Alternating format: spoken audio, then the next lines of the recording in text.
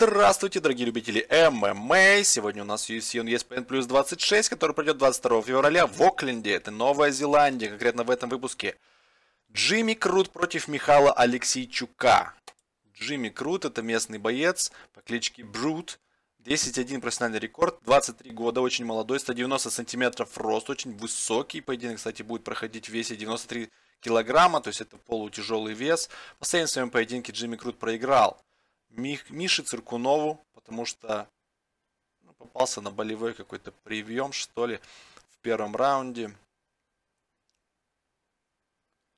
А, до этого у него было две победы над Сэмом Алви нокаутом, причем в первом раунде в полутяжелом весе. Также над Полом Крейгом в полутяжелом весе он держал победу Кимурой в третьем раунде. До этого попал в UFC через Dan White Contender Series 2018, где был нокаутирован Крис Бирчлер. И до этого выступал в Hex Fight Series. Довольно успешно, но там были не очень сильные соперники, естественно. А, ну и его соперник, очень опасный, Михаил Алексейчук по кличке Лорд. 14-3 профессиональный рекорд. 24 года, всего на один год он старше своего соперника Джимми Круты. 184 сантиметра рост. Кстати, и на 6 сантиметров ниже. Последний свой поединок он проиграл Овенсу Сент-Прю.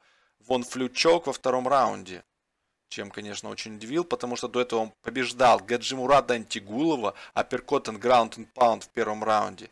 И Джана Виланты побеждал он punch to the body, ну, удары по корпусу э, в первом раунде.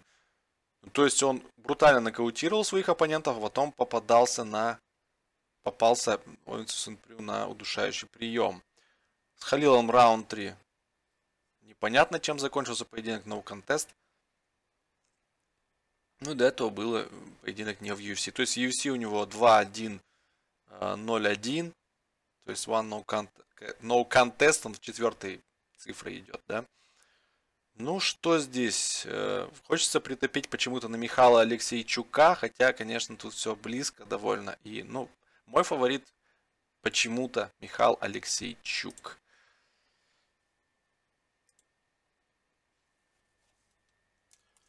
1.65 и 2 и 3, так и есть. 1.65 на Михаила Алексейчука и 2 и 3 на Джимми Крута. Но здесь 1.65 достаточно мало, если ставить, потому что я считаю, что ближе к 50 на 50 должно быть.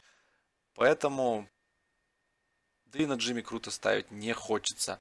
Думайте сами, решайте сами. На этом все. Пока.